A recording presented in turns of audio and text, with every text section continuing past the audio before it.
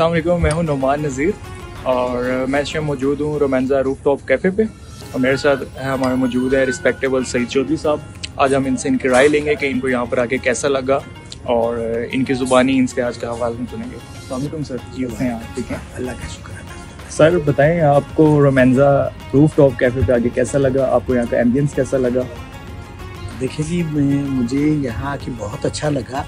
Really मैं बहुत short लफ्ज़ों में आपको ये कहूँगा मुझे यहाँ आके लगा कि मैं किसी हिल स्टेशन पर मुल्तान में तो ऐसी कोई जगह ही नहीं है ऐसा इन्वायरमेंट ही नहीं है जहाँ बैठ के इस तरह इंजॉय किया जाए। इतनी फैसिलिटीज़ और इतना खूबसूरत एक नज़ारा जो नज़र आ रहा है तो मुल्तान में नहीं है ऐसी कोई जगह कि जहाँ बैठ के तो बंदा इस तरह इंजॉय कर सके। बहुत ही अच्छा आपने फ़ूड टेस्ट किया सर आपको फ़ूड कर आप बताएँ रेट करें हमारे फ़ूड को। क्वालिटी को मैं ए प्लस ग्रेड देता हूँ।